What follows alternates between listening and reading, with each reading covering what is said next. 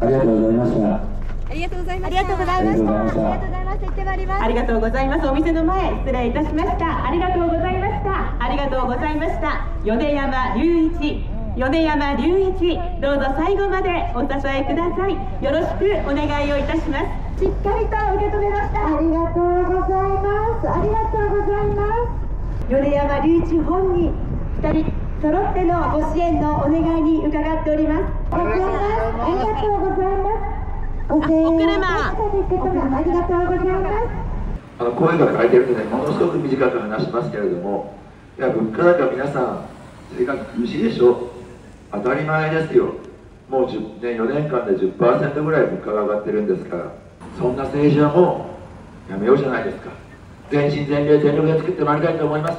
どうぞご支持ご声援いただきますことを心よりお願いいたしまして私はちょっと仕切りがしたんですが私の訴えさせていただきます